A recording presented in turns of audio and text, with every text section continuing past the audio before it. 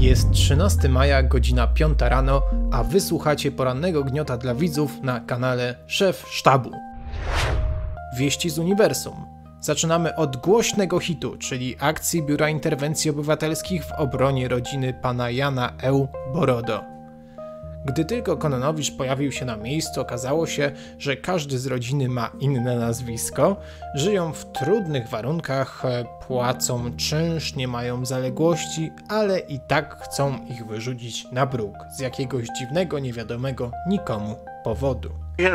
Z jakiego powodu pani jest eksmintowana? Tak? Z, jak, z jakiego? A z jakiego? Dlatego, że nas administracja napiętuje, bo chcą zabrać nam te mieszkanie, a tu ten właściciel tak się napiętuje, żeby po prostu on wziął. A jak, a jak sąsiad się nazywa? Chyba wszystkim wydawało się to dziwne i słusznie, bo jak później dowiedzieliśmy się, łosie to zwykli oszuści mieszkaniowi, którzy zajmują się wyłudzaniem zasiłków i komunalek od 2009 roku. Wtedy gazety lokalne i krajowe pisały o dramacie matki i syna wyrzuconego z mieszkania, którzy śpią w samochodzie i mieszkają pod parasolem. bo to takie urządzili wspólnotę. I ta wspólnota podpisała pani, to on ciął siekierą i wywalał bez okno, a śmieciary od razu pod sokółkę wozili. I także mieliśmy, ja weszłam na korytarz i pani sąsiadka zadzwoniła policję. I ja wchodzę, mówię, proszę pana, pozwól pan mnie wejść, wziąć dokumenty, pieniądze, wie pani, biżuterii, miałam wszystko. Panie, a on wylatuje z pokoju, ten cały Polakowski i mówi tak, spierdolę i pani mnie w ścianę. I jak on tak, ja się odbijam, żeby nie za barierkę, to chyba nie pani, poleciała na dół.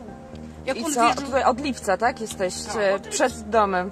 i pani, i ja chciałam, że coś jak oni wyrzucali bez okna, że coś weźmie. Pani, on walił te meble, wszystko na głowę, że nic nie mogłam wziąć. Wszystko ciął, niszczył wszystko, to wie pani, taka mściwość lud- nieludzka. I pani, i tak, on siedzi tam po czwórku, co pomagała jemu to te wyrzucać i pod ósemką. Jedna z dziennikarek przeprowadziła śledztwo, którego wyniki były tak szokujące, że postanowiła skonfrontować się bezpośrednio z panią Teresą Korol. Dziennikarka Anna Bogdanowicz z koncernu Agora podała lokalizację trzech mieszkań w Białymstoku i Szczutnie, które również zajmowała matka Jana Eł. Oto fragment z artykułu, e, moment, w którym e, dziennikarka bezpośrednio prosto w twarz powiedziała e, pani Korol, że jest oszustką mieszkaniową i że o tym wie. Czy przyznaje się Państwo komukolwiek, że są właścicielami ładnych mieszkań? Syn. Nie, a skąd pani to wie? Matka, czyli pani Korol. Dobra, już dobra. A my chcieliśmy czwarte, kolejne mieszkanie. Posiedzimy jeszcze trochę, a jak przyjdzie mróz, to nas tu nie ma. Dziennikarka. Nie wstydzicie się? Pani Korol. Nie. Co ja zrobiłam? Dziennikarka. Pani ludzi oszukała. Pani Korol. Naprawdę? I tutaj wypowiedź lokatorki, która e, była zatrwożona sytuacją właśnie państwa e, pseudołosiów i chciała im pom- i pomagała im wręcz, to taki komentarz dała ta lokatorka. Przychodziłam tutaj i pomagałam. Woziłam tę panią do hostelu, do gazety, prokuratury. Myślałam, że trzeba pomóc. Pani Korol, słysząc to, zaczęła krzyczeć cicho, cicho. Lokatorka kontynuowała oczywiście. Sądziłam, że nie mają gdzie się podziać i szkoda mi ich było. A tu taki cyrk. Mąż to nawet chciał ich do domu zaprosić. Co mam, to wam dam, mówił. Dobrze, że pani dziennikarka to wyjaśniła. No i tutaj pani Korol odpowiada: Ta pani dziennikarka, adwokat i inni to biorą kasę za gadanie, niech im pani nie ufa. No i dziennikarka tutaj odpowiada: A pani za co brała pieniądze społeczne? Natomiast pani Korol odpowiada: A co to panią obchodzi?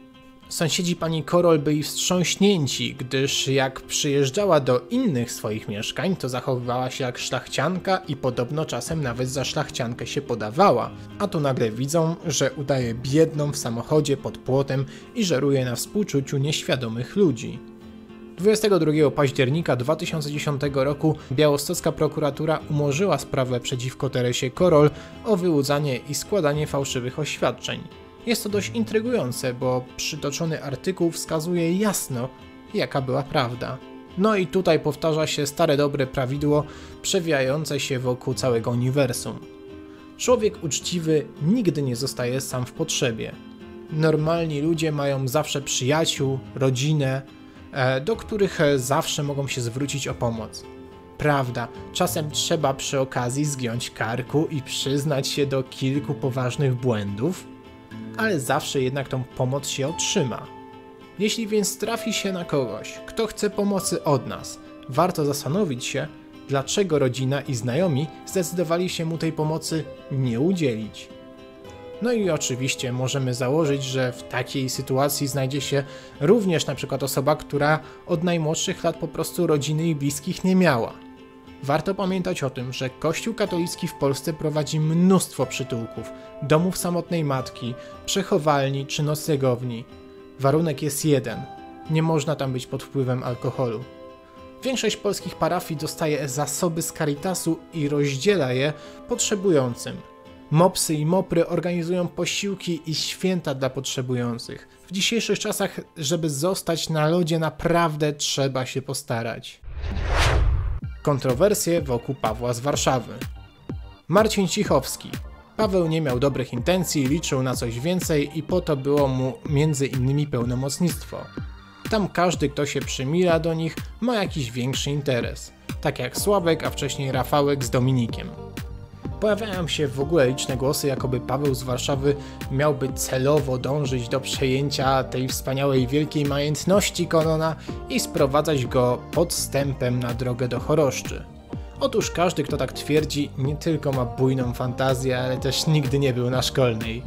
Dom Krzyśka nie jest w żadnym prestiżowym miejscu, w żadnej e, części Białegostoku, która jest pożądana do rozbudowy. Znajduje się przy torach i zrujnowanych halach, na które jest bezpośredni widok z okna. Dodatkowo w środku jest syf i smród, który moim zdaniem przez lata po prostu jest nie do wywietrzenia. Jeśli zatem ktoś miałby skorzystać na majątku Krzyśka, musiałby ten dom, który jest i tak w fatalnym stanie technicznym, rozebrać i sprzedać samą działkę. Robota dla amatora i podejrzewam, że wcale nie jakoś szczególnie zyskowna. A przy tym wkładzie, ile ten Paweł biedny tam się najeździł, ile benzyny spalił, ile im popłacił rachunków, pokupował laptopów, telefonów, to moim zdaniem wręcz nieopłacalna. Przypomnijmy, że dwa kafle to on za samą wodę zapłacił, tak? W kronice powiedziałam, że Krzysiek chciał przepisać dom Pawłowi, bo tak było, a nie, że Paweł chciał domu Krzyśka dla siebie. Tak nigdy nie było.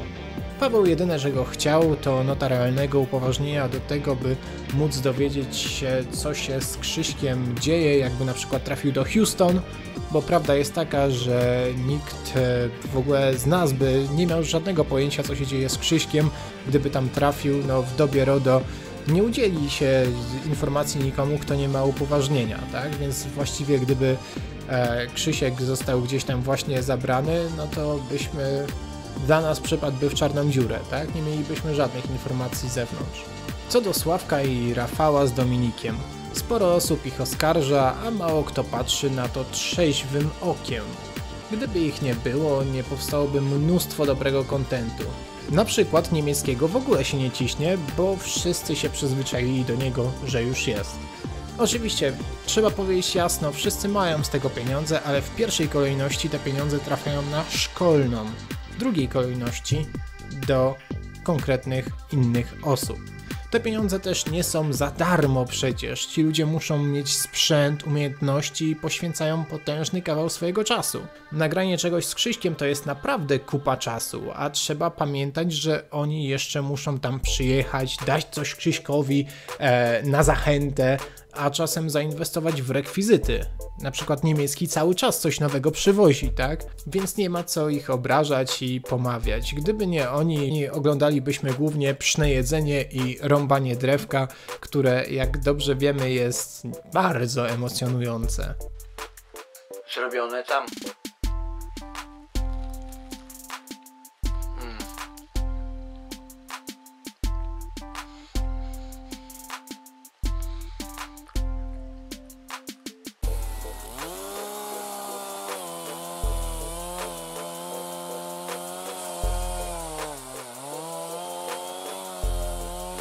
Pora na sekcję pytań w komentarzach. Half 2. Panie szefie, czy wie pan, że król diamentów też robi kroniki, ale miesięczne? Jak się pan odniesie? Wiem i bardzo się z tego cieszę.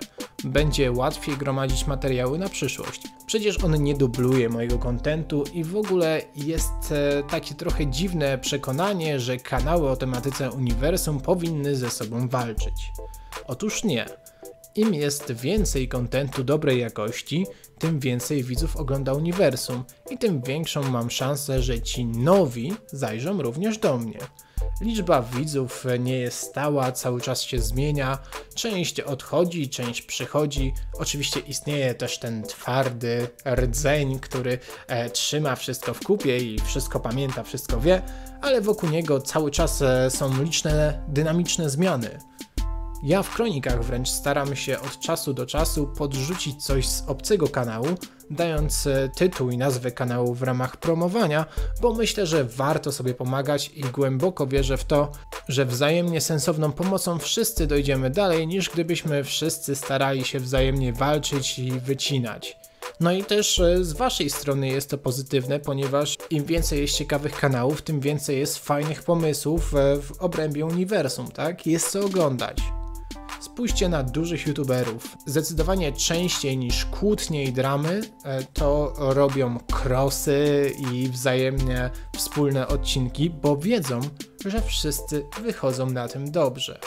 I generalnie ogólnie w życiu też e, zamiast walczyć ze wszystkimi naokoło, lepiej starać się współpracować. Supermeman XD napisał taki komentarz do tej gry, do tego mojego gameplayu e, z Podlasie Plus. E, napisał cytat najpierw e, z tego, co powiedziałem. W tej grze Podlasie zrobiono wyjątkowo biednie, no bo tak zrobiono je faktycznie. I tutaj tak ironicznie napisał, to, to dobrze, że sprawy mają się inaczej niż normalnie. Mit o biednym, zacofanym Podlasiu jest zbyt mocno rozdmuchany. Białystok jest moim zdaniem piękny, zadbany i bardzo sensownie rozplanowany. Wlot i wylot z miasta cudowne. Do Warszawy tak dobrze nie ogarnęli wjazdów i zjazdów jak w Białymstoku. Miasto żyje, a w weekendy bary pękają w szwach od klientów. Jak pojedziemy dalej na wschód w kierunku granicy, też jest całkiem nieźle. Gospodarstwa są wyjątkowo czyste i zadbane, zdecydowanie bardziej niż na przykład na Mazowszu. Gospodarczo i infrastrukturalnie Podlasie wywarło na mnie ogromne pozytywne wrażenie. Choć fakt, że mentalność ludzka jest nieco inna i uwaga, to wcale nie znaczy, że gorsza. O tych różnicach może powiem już innym razem, bo ten odcinek miał być taki zmontowany na szybko, a strasznie się wydłuża. Jeśli macie jakieś pytania, to proszę umieszczajcie je pod tym konkretnym filmikiem, bo jak piszecie je gdzieś pod kroniką albo innymi wrzutkami, gdzie zazwyczaj jest po 100-160 komentarzy, to trudno mi wyłapać, nawet jak mniej więcej staram się czegoś sensownego nie przeoczyć. Jeszcze na koniec sekcja najlepszych komentarzy. Jarek 2030. Wszedłem w powiadomienia jak Conan w Majora. The White Star 666 pod którymś filmikiem napisałem, że zabłądziłem w internetach, ale obejrzałem całe i tak się wkręciłem, że już prawie wszystkie części kroniki obejrzałem. Gra o Tron to przy tym uj. Ta ustawa o wykrywaczach ciekawa, bo Krzysiek wedle niej mógłby wejść gdzie chce, ale inni nie mieliby prawa wejść na jego teren. Waldiego 21. Omówienie Patriot Perełka, ale napęd Patriot jest ponoć na nitro. I co? Sabes Gdybym miał takiego sąsiada, to sam zgłosiłbym się do choroszczy. To już wszystko na dziś, dziękuję i pozdrawiam. Szef sztabu.